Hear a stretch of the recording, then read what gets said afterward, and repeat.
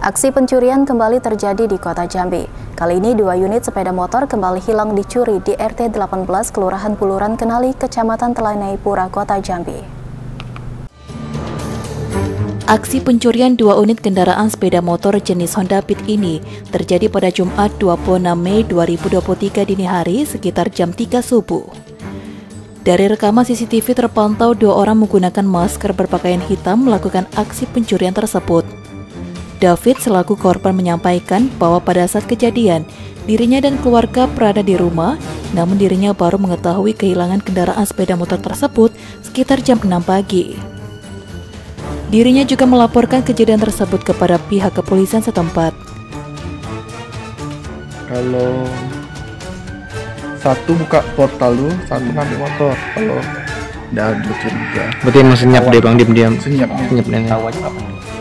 Ketahuannya pagi. Yang pertama kali ibu lah keluar rumah buka- nak buka pagar kan, Hmm.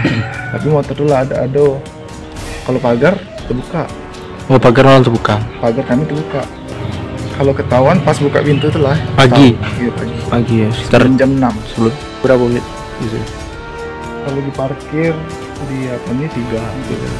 Yang diambil dua. yang diambil dua.